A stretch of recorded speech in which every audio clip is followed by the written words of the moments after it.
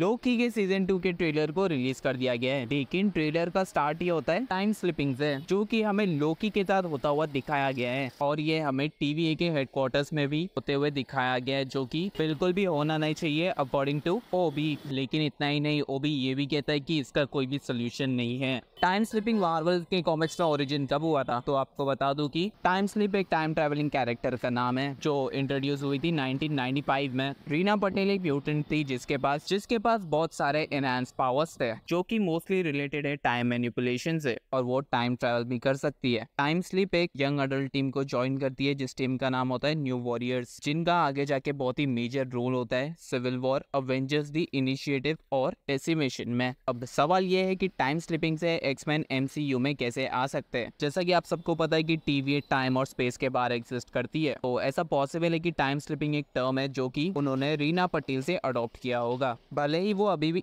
MCU में introduce नहीं हुए लेकिन ऐसा पॉसिबल है कि टीवी को ऑलरेडी रीना पटेल के बारे में पता होगा, कोई ऑल्टरनेट यूनिवर्स से या फ्यूचर से। इसके अलावा भी ऐसा कहा जा रहा है की लोकी के सीज़न टू में कहीं ना कहीं डेडपुल थ्री से कनेक्शन दिखाया जाएगा। डेडपुल थ्री में ऐसे भी रूमर्स है की हमें टीवी के कुछ मेंबर्स इस मूवी में दिखाई देंगे। और हमें ये भी नहीं भूलना चाहिए कि ऐसे भी रूमर्स थे कि हमें टेटपुल थ्री में मेजोरिटी एक्सपेंस देखने को मिलेंगे।